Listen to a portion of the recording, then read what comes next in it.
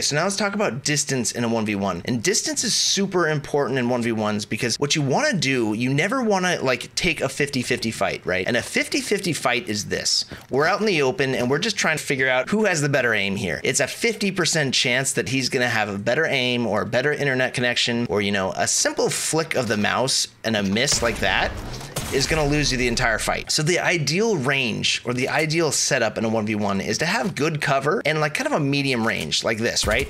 So I can spray him, I get him pretty hurt, and now he has to move somewhere, right? And we're kind of playing chess. Like, where is he going to go? What is he going to do to get a new advantage? So he just got this cover piece, and I still have high ground. I can still kind of jump up onto this rock and put pressure on him and make him make a mistake. So I'm just waiting for him to make the next mistake. I don't want to really risk taking a lot of damage here. I'm just going to wait for him to do something wrong.